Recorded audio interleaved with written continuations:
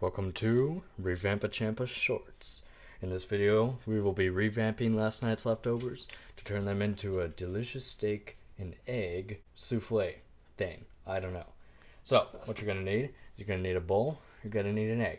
So you wanna crack the egg into the bowl like that.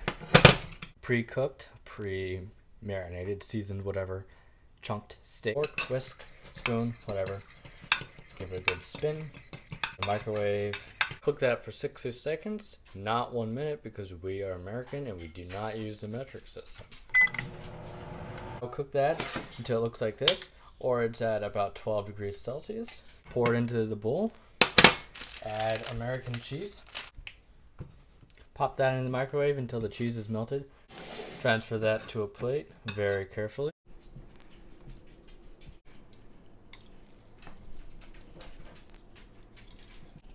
Oh yeah.